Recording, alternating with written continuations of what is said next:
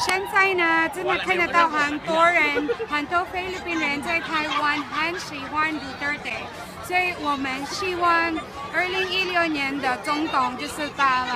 好，加油 Duterte for president！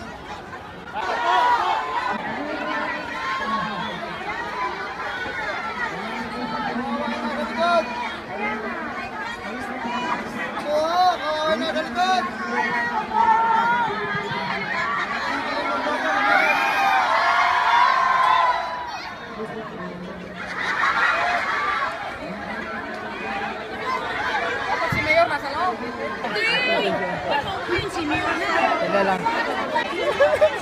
Mayor, we're holding hands.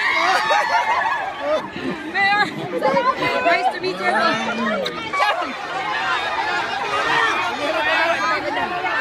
Hintay, pasok natin o! Kaya mag-isa! Kaming bahala dito. Pasok natin dito! Diyan ka. Diyan ka sa likod.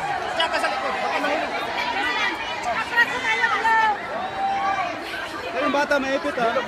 Sir, buhatin na lang si Mayor sa loob. Wala sa interview